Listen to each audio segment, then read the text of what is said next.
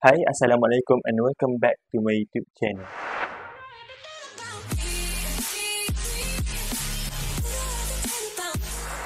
Okay guys, so untuk video hari ni adalah video Shopee haul lagi. Yang ni video part 2. So kalau korang tengok video part